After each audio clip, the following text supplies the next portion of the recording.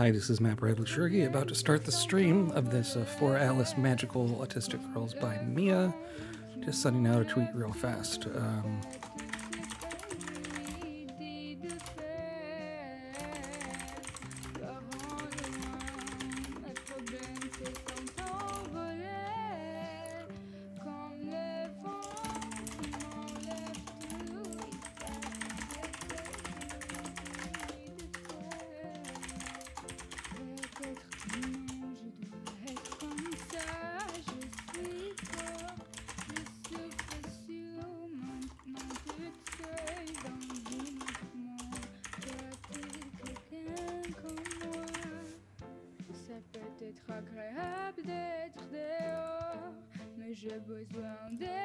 All right, yep, this is Matt Bradley Sherry. Um, sorry for that delay there. I am doing a review of an indie game 4 Alice Magical Autistic Girls. This is a visual novel.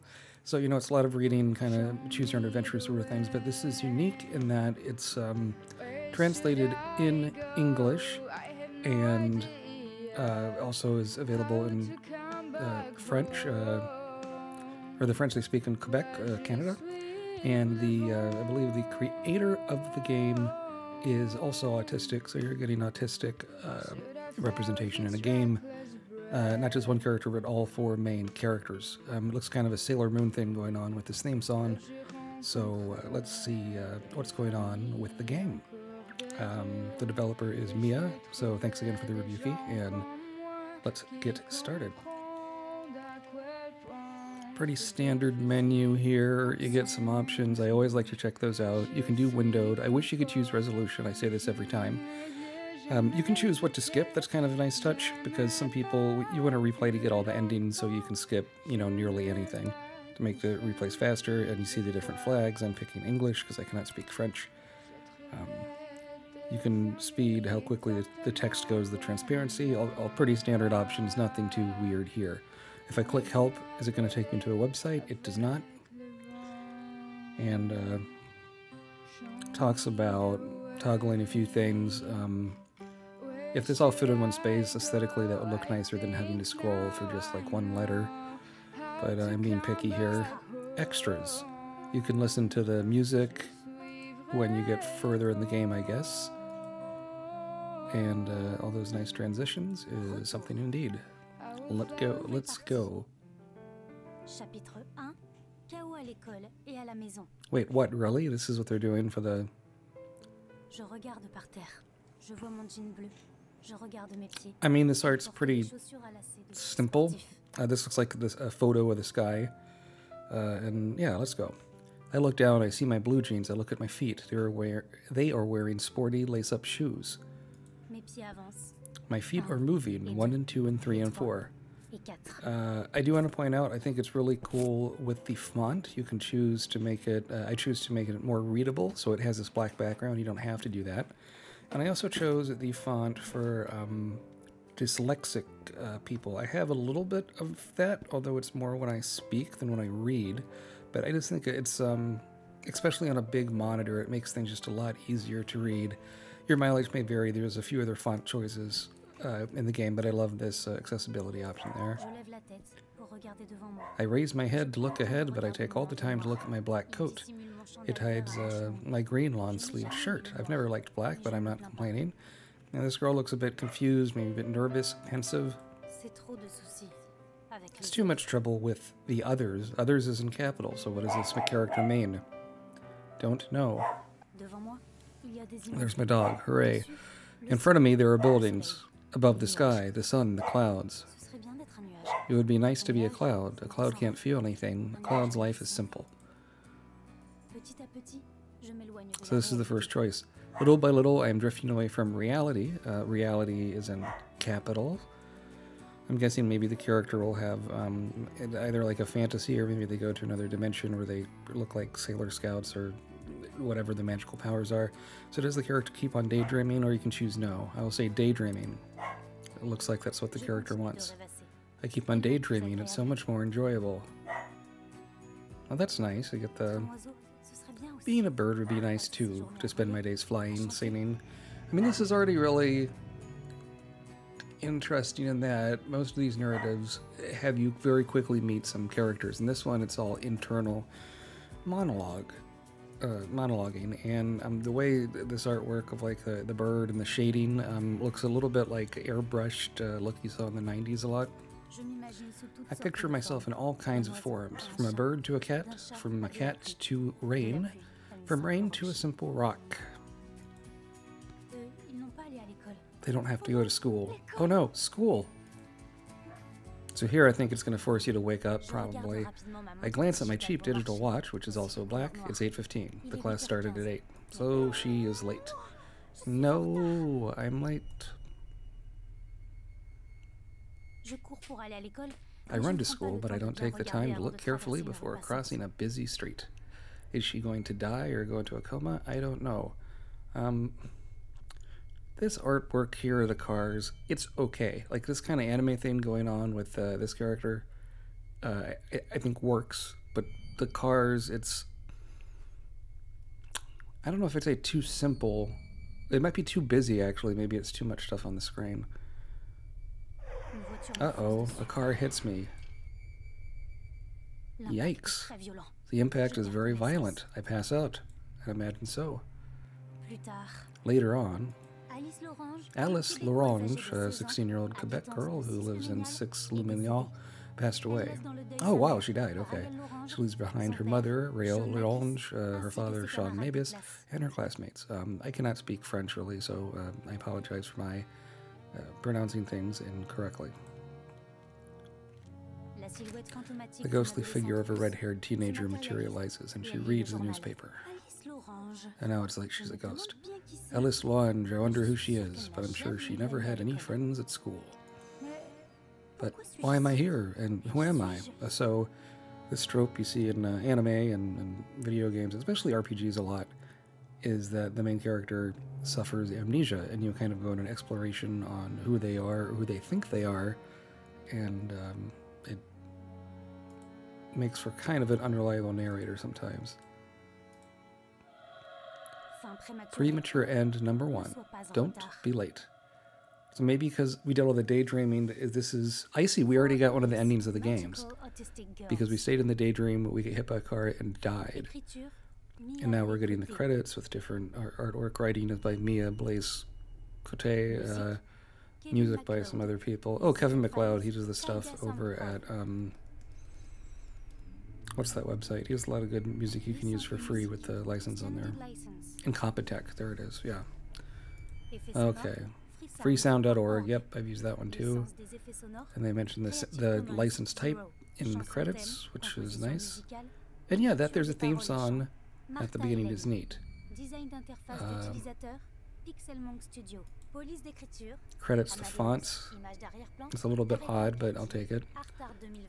Background images. I mean, yeah, so this person went out to, to use some outside work for the artist, right? It wasn't all one person doing a, a one man, a one person show. Pretty neat.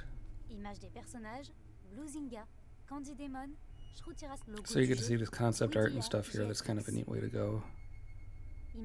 Um, these credits could go a bit faster, but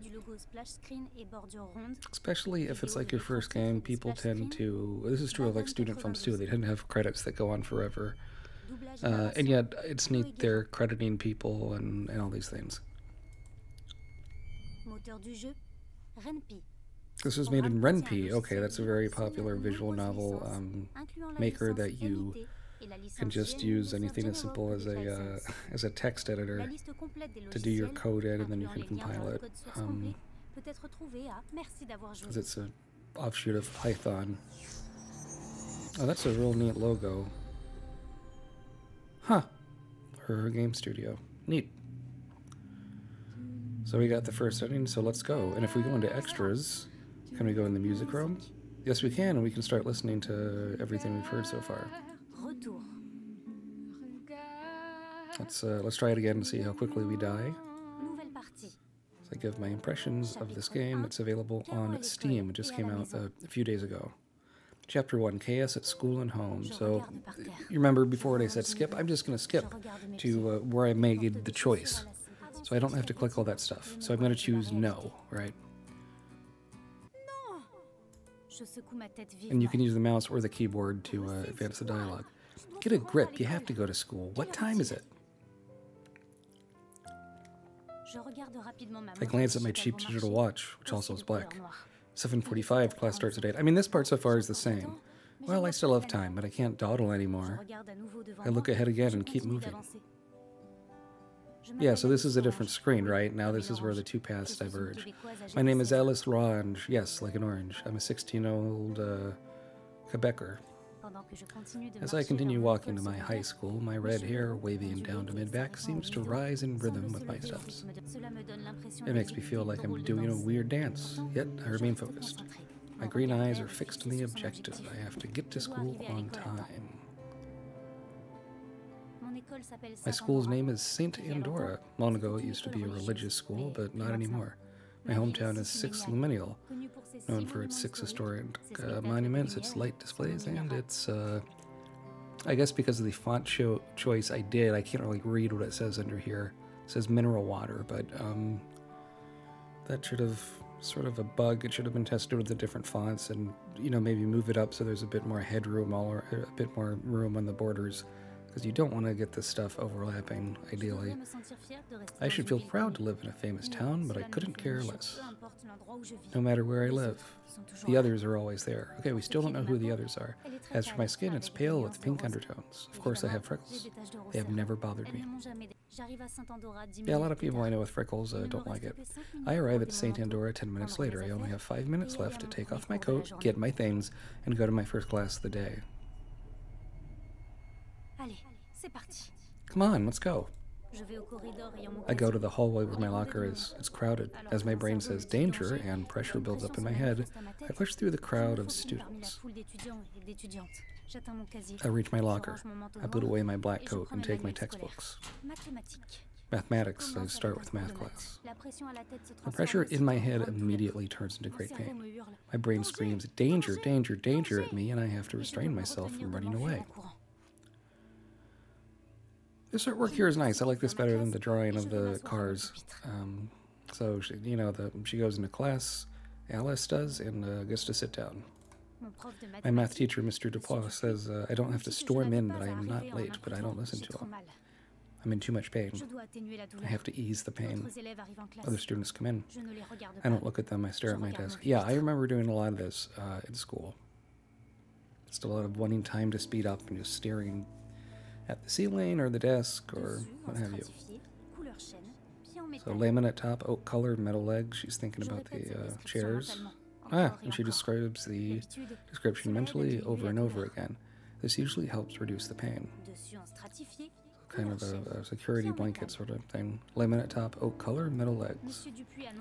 Mr. Dupois announces the class is starting. He recites the lesson while writing on the board with chalk. I don't listen to him. Laminate top, oak color, metal legs. I can feel the other students' stares on me, although their eyes are all focused on the blackboard. La laminate, laminate top, oak coat, color, metal legs. I imagine their thoughts about me, their scorn. I can't focus anymore. The pain, rather than decreasing, increases a notch. N no, come on. You can do it. You can hold on. La, lama, laminate. trying her little, uh, you know, prayer that she's doing, and we can see a different uh, look of the graphic. Now she's the she's crying, right? My eyes get wet and tears start rolling down my cheeks. S survival. I can't do it. I cry my eyes out. I have failed. And I think now, from you know the point of view of the other students, they probably think who's this crazy girl crying in the back of the class, right? My survival.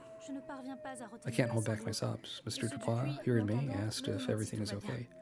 I force myself to look at him with my puffy eyes, and I make myself speak to him. I, I am fine, sir. In the most neutral tone possible, as if I had no emotions. The teacher insists that I wipe away my tears and tell him it'll pass. Survival. So Mr. Dupois resumes the lesson. I look at my desk again, my tears are still flowing. I'm on the others. After math class, I go back to my locker. My eyes can't produce any more tears. That's nice, but my head still hurts. Probably dehydrated. Ah, okay, finally another choice. If only I could get out of here, but wait, I can, can't I? I kind of want to see her die again as I'm wrapping this um, kind of reaction preview thing to the game up. Let's do stay in school. Technically, I can, but skipping school is against the rules. The rules are sacred to me. There's no way I'm breaking them, so I stay in school. Maybe this is what you're supposed to do. At least my other morning classes are nice uh, science and ESL, English as a second language.